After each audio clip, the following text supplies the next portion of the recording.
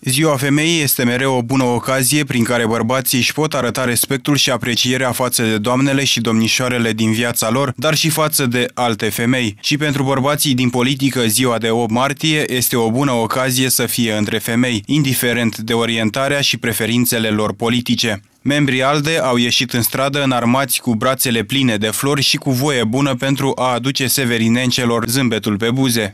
La mulți ani, de o martie vă urăm, dați mai frumoase și pentru cine micuță la mulți ani, cât mai mulți ani fericiți. Gestul făcut de ALDE a fost unul apreciat de reprezentantele sexului frumos. Mai tinere sau mai în vârstă, copile sau adolescente, gestul de ziua mamei a fost în egală măsură apreciat. Și vă mulțumesc, sunteți foarte drăguți. Cu ce gânduri în această zi de 8 martie atât de importantă pentru toate Gânduri femeile? frumoase pentru toate femeile și pentru toate mamele și pentru toate soțiile și fiicele, pentru toți, să avem un trai mai bun. Ce știi tu despre ziua de 8 martie și ce ați făcut voi astăzi la școală? Ați pregătit ceva special pentru mame? Și dau ceva lui mami. Ai pregătit o felicitare? Da? Și ce-i transmis mamei? I-am trimis ceva frumos. Ce-i transmit și mamei și bunicii și tuturor pe care îi cunoști? Sănătate. Un sincer la mulți ani pentru toate doamnele, toate domnișoarele.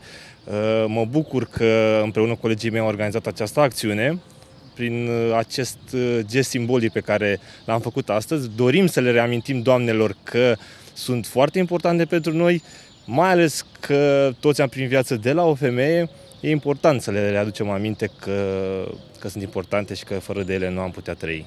Colegelor de partid ce le transmiteți? Același mesaj, este mesaj unic pentru toată lumea, uh, tot la mulți ani, să aibă o viață cât mai lungă, cât mai frumoasă, să fie fericite și să ne ajute în continuare, că avem nevoie de ele. 8 martie reprezintă un bun prilej de a ne arăta prețuirea față de femei.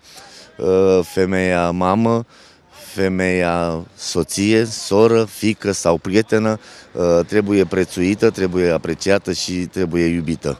Uh, Mai ales că, cel puțin din punctul meu de vedere, reprezintă echilibrul vieții. Le doresc tuturor doamnelor și domnișoarelor să aibă uh, o primăvară în suflet și la mulți ani!